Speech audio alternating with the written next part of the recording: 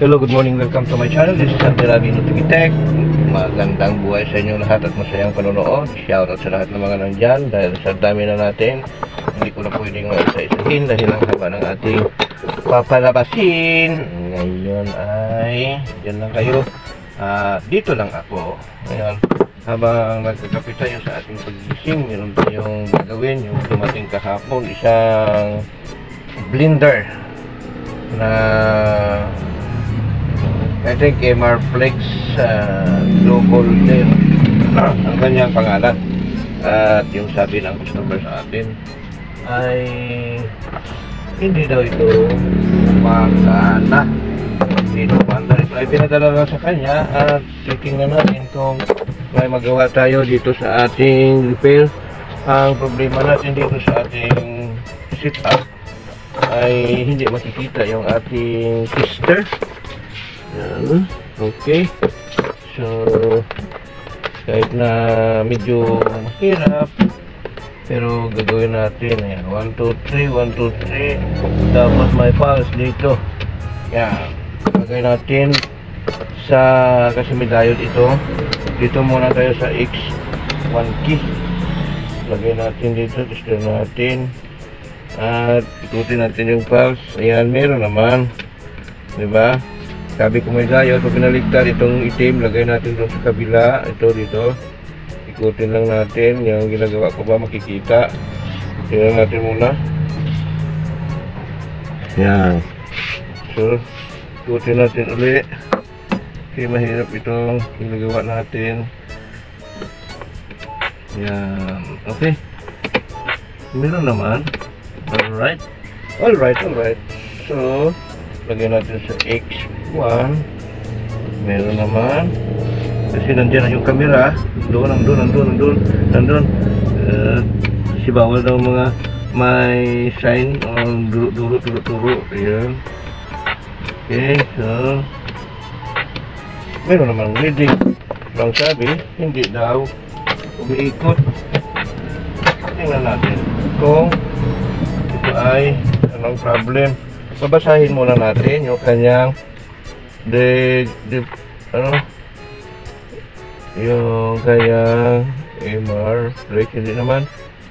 Mon Linux hindi ko babasa tapos 20, 20, 40 50 Hz to 60 Hz 600 watts type LM231 made ano?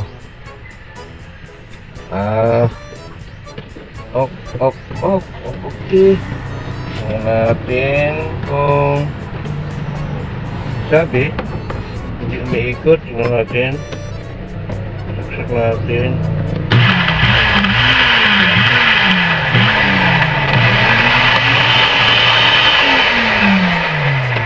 Umaandar. Yan. Yung kanyang problem pala ay umaandar siya pero yung kanyang ilisi sa loob ay hindi umaandar. Yan ang susurusunan natin. So, hindi siya matanggal dito. At, ayan. Ayan pala yun kaya. Uy, naku. Tingnan natin. Ayan o. Maikot na. Ito, maikot na. Tapos, naiiwan pala ito. Ito o. Yan.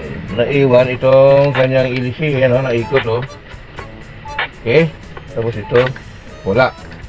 Ito yung susulusanan natin. Tapos, yan.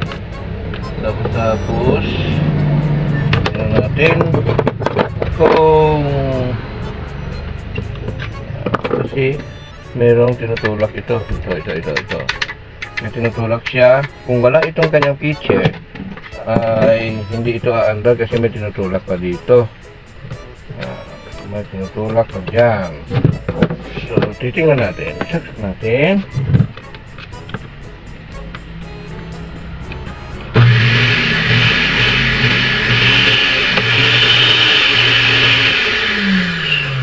Maganda naman yung kanyang pag-ikot. Pero, hindi siya, hindi siya, hindi ito umiikot so ito yung titingnan natin.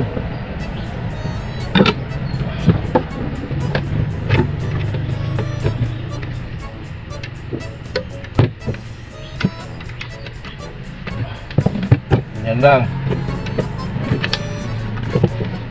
Ang pagtanggal. Sana matanggal ko ito. Parang hindi parang ayaw eh. Ayun meron palang lock. Yung kanyang lock. Ito. Ah ito pala. Itulak pala ito. Ayan para matanggal. Ulitin natin kailangan practice. Tapos ito ayan. Pagtanggal itulak. Ayan yun lang pala. Tapos yun tapos naman ito. Tingnan natin.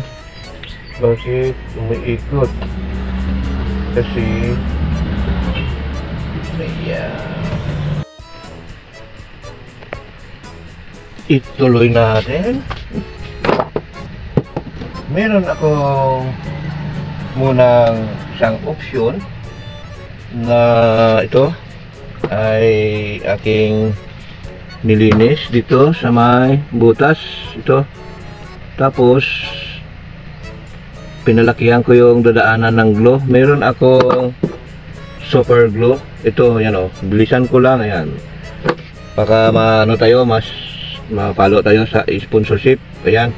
So ito matagal ko nang ginagamit at ito ay the best dahil ito ay gel glue at mapupunuan yung mga butas-butas or yung siwang kaya pag natuyo plastic din. So ito ay rubberized na plastic ang kanyang ito parang gear na pa slanting at ito yung tatama dito. Yan tatama dyan. At ito ay umiikot. Tapos ito ay umiikot din pero hindi ito sumusunod.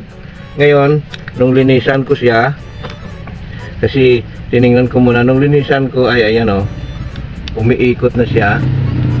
So baka makuha sa gel super glow kaya subukan ko muna.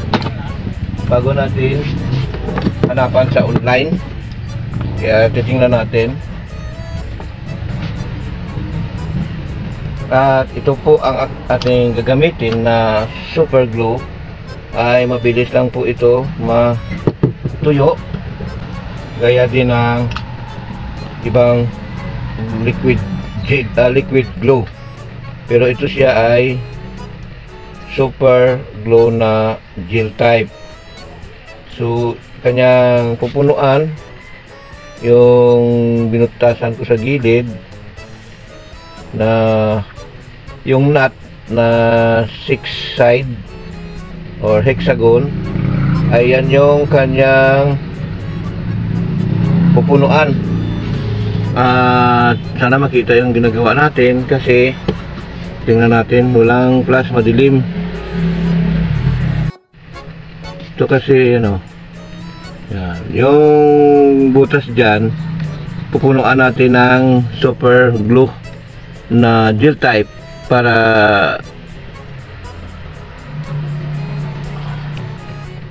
para pag tumuyo magiging plastic siya uli at hindi na mag i-slide so dagdagan natin at kiskisin na lang pag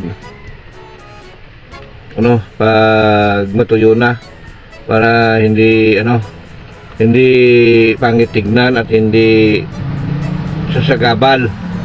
Ngayon uh, nabig, nalagyan ko na at naipakita ko na sa inyo na yan yung ginawa ko. Nilagyan ko ng um, super glue na gel type. Patitigasin ko lang ito at hindi ito pwedeng itesting doon ngayon na mga ganito magkakalagay lang mabasa. Dahil tatalsik po yan pag pinaikot ko dito at maraming madadamay na madidikitan dahil tatalsik yan dahil malakas ito ma ma tawag natin yung kanyang RPM ay napaka bilis so kailangan natin na patuyuin muna. Dahil yung kanyang RPM nga ay napaka bilis so kailangan talaga na patuyuin. So ang ginagawa ko naman muna dito sa mga kaibigan ko na mga tech na gumagamit nito ay lilinisin lang yung nozzle bago ilagay pabalik yung ibalik yung takip. Isang buwan na ito pero hindi natutuyo kasi yan ang ginagawa natin linisin kung ano kung matapos gamitin at itabi lang sa hindi masyadong mainit na lugar. Kasi hindi naman natin pwede sabihin na sa malamig. Dahil kung sa malamig nilagay ko yan dati sa ref ay natutuyo din. Tapos dapat sa ref pero hindi sa freezer ha? Ilagay mo sa ano sa yung cooling system sa may cooling cooler lang kung sa kanyang ang freezer. Tapos ito na uh, tutuyuin na natin at pause muna natin yung video natin. Okay. Tuloy natin. So ang next kong gagawin dahil hindi umubra yung ginawa nating paglagay ng gel type na glue at ang kasalanan ko dito ay hindi pa matuyo, hindi pa tuyo, inikot ko na, pinilit kong ikutin. Na hindi naman sana maikot, hindi ko pinilit kasi sinubok ko lang kung matibay. Pero matibay yon tested ko yon kaso lang excited kaya pinilit. So ang gagawin ko sa sunod or next step ay nagyupi ako ng copper nails ito yan, nagyupi. Tapos, itong niyupi ko, putol ko ng kung anong kakapal yung nut na nandun. Gaya nito, ito yung, halimbawa, ito yung nut, kung anong kakapal. Or, mag, ganito siya kakapal. Yan o, ganyan siya kakapal. Bakit doon mo nilagay dito? Ganito siya kakapal. Yan yung gagamitin natin. Ibaon natin doon sa plastic para para tawag natin dito para oops. Para malagyan natin ng kanto. Okay lagyan natin ng kanto. So magsasampol ako ng isa para makita nyo ang aking gagawin. At pagkatapos kong magsampol dito ng isa ay ipopost na natin yung ating video or ang pag-record natin dahil mapupuno na naman uli yung aking on memory. So magbabaon na ako ng isa. Sana makita yung gagawin ko dito. Yan. Baon ko lang itong isa. Kasi nga plastic naman ito. Tingnan ko lang kung makapagbaon ako ng isa. Tigas. Kasi hindi natin hayaan na masira itong ano masira, masira itong kanyang gear o lang yung ngipin pala ngipin. Kasi hindi naman ito gear. Subukan lang natin kung pwede natin magawa itong makabaon tayo na ganito. Ayan. so initin ko lang ng soldering iron kasama yung yan kasi nga sira naman ito.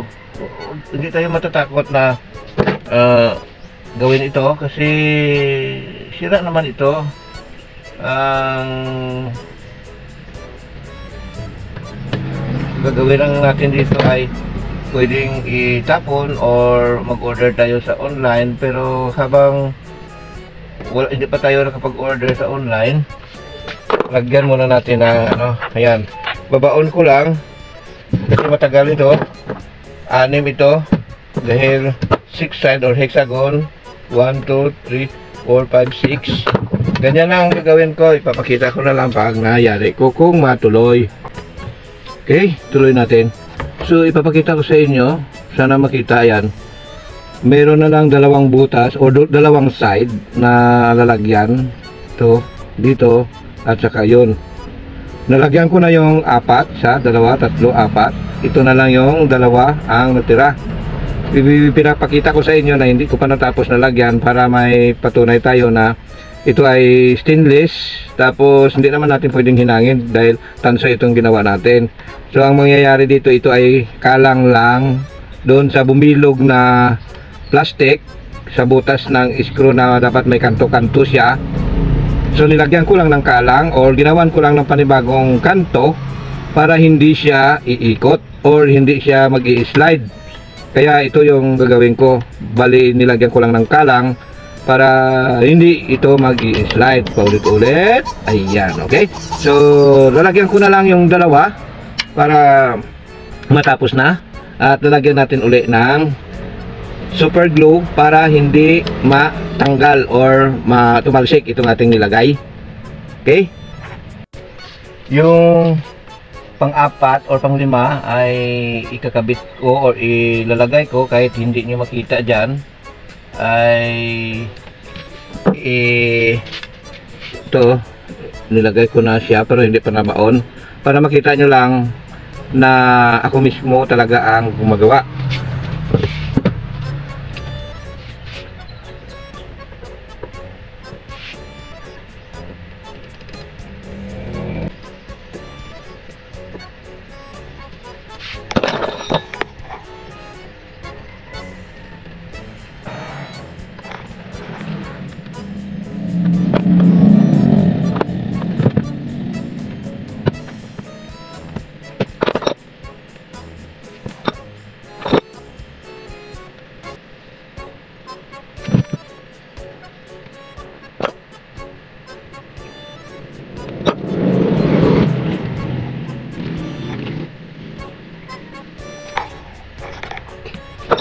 Sabi ng iba, bakit pa tayo magpapakahirap? Meron naman sa online, bibilhan sa online.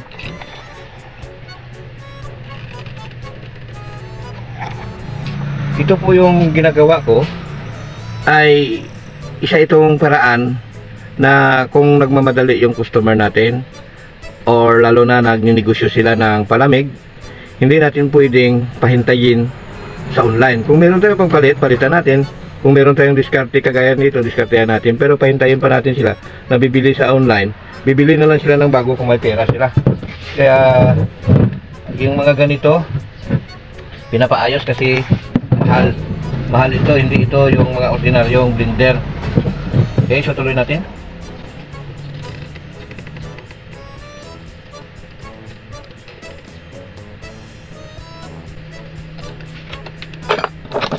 Didiinan natin ng screw kasi umaangat siya pag inalis yung soldering iron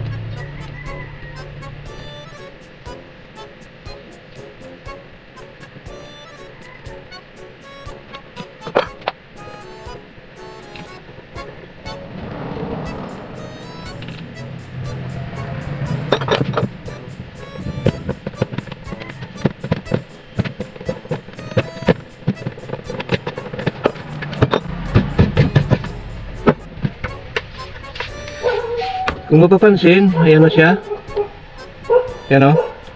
Parang kung titingnan natin, parang nuts na, na rin siya. Yung nut or uh, twerka.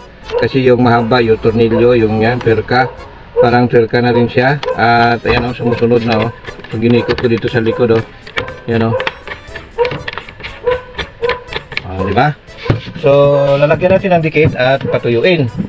At dugtungan natin yung video pag ito'y gumagana na. Lagyan natin ng load na ice at kung ano pa yung biniblend natin para malaman natin na kaya niyang uh, mag-slice kung tumigas na yung pandikit natin. So push muna natin dito at lalagyan natin yan ng uh, glue at lalagyan natin na, or patitigasin muna natin.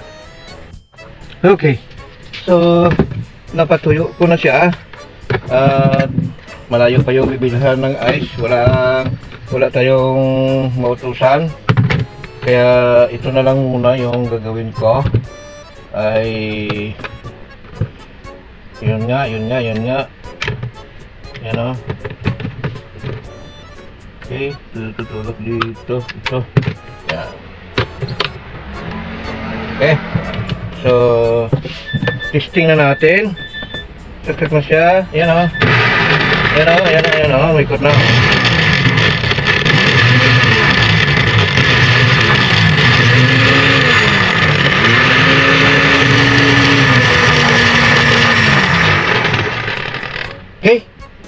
So, yari na.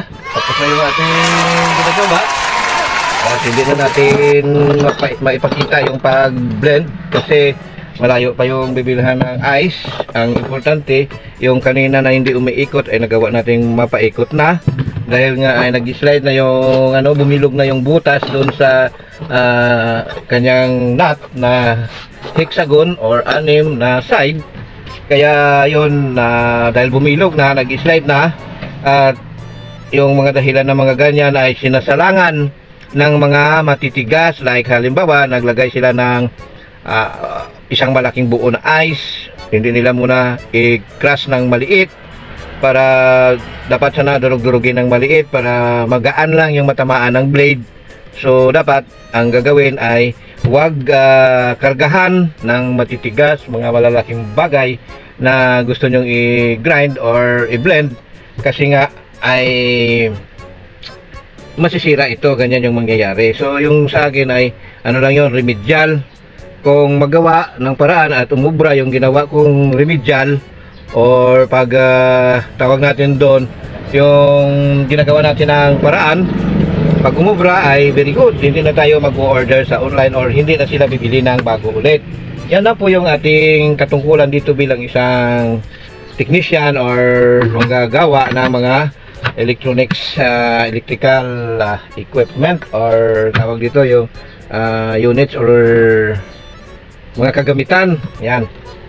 Kaya ayan kung hindi pa kayo nakapag-subscribe bago tayo magkahiwalayan dito sa video na ito ay paki-subscribe naman po ng aking ah, channel. Pakipindot na rin dyan ang bell all para maging updated ka sa lahat ng mga video ng aking i-upload. At pakishare na rin ng video kung ah, nagustuhan mo at sa palagay mo ay naka- makakatulong ito sa kapwa natin tech or mismo doon sa mga may-ari ng blender ng may ganitong problem baka makatulong na masolba. Maraming salamat. Hanggang dito na lang. Magandang buhay. Bye-bye.